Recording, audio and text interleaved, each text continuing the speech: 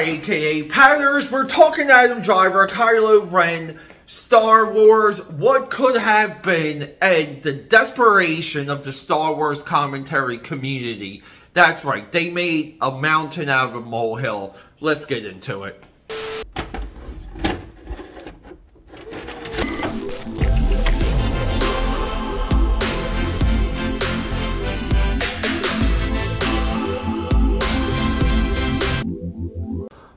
Alright guys, Peter A. DeLuca here. Welcome back to the channel. I am akapad69 and you guys know it, say with me, known through Philadelphia, PA, Europe, and the vast multiverse as your eclectic one.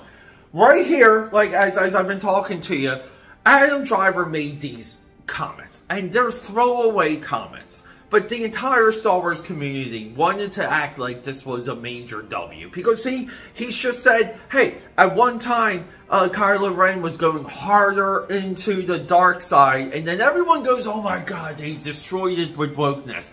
Oh my god. People, this is a comment.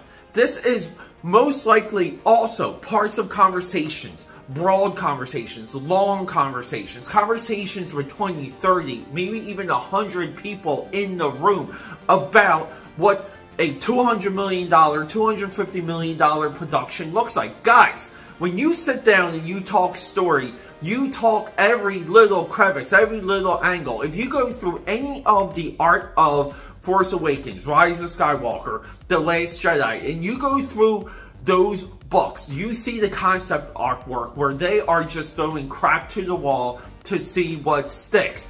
Guys, this is not like a win. This is not uh, a definition that they purposely change things. We know a lot about the detailed uh, flow between the, the Last Jedi and the Rise of Skywalker. Well documented cases of, of J.J. Abrams stepping in, the time frame uh, the deadline's shrinking like this. You have to get the production going. We don't have solidified story elements. We only have like agreed upon set pieces. And then it's all systems are go and you have to meet the deadline. You have to, the movie needs to come out. And a lot of times, see, here's the crazy thing.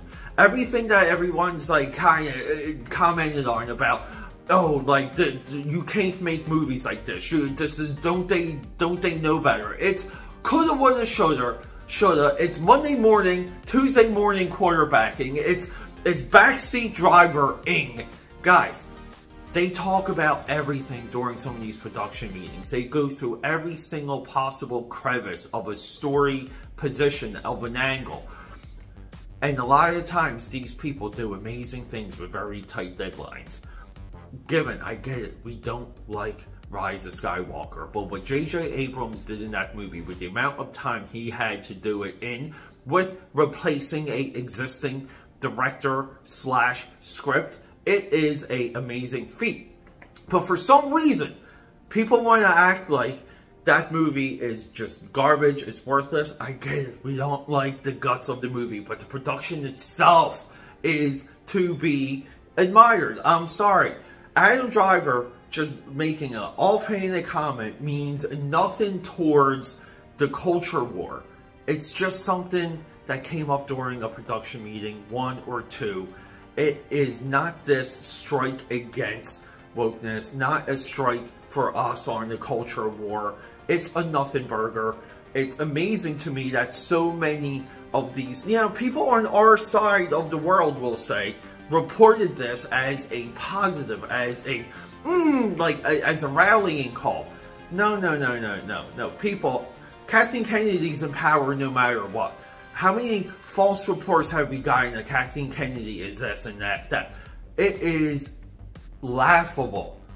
Guys, this is just the way it's going to be. I keep saying it. It's going to be like this for a while. Uh, get used to it. Put all your time and money into new things that you love. Like Dropping tonight, Rebel Moon. Let's go.